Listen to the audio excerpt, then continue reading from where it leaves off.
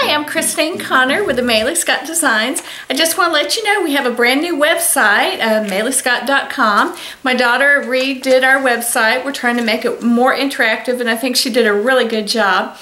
Um, we have some free products out there for you to try too. Um, our product for November is a fall mug rug and it's got the little envelope back. You can download the design for free and there's also these wonderful instructions for you to follow along step-by-step -step color photographs for how to make the mug rug.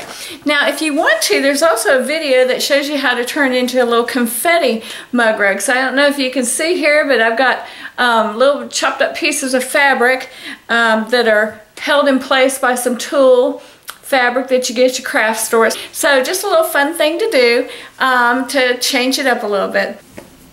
I hope y'all like the free projects and let us know what you think of the website. Bye!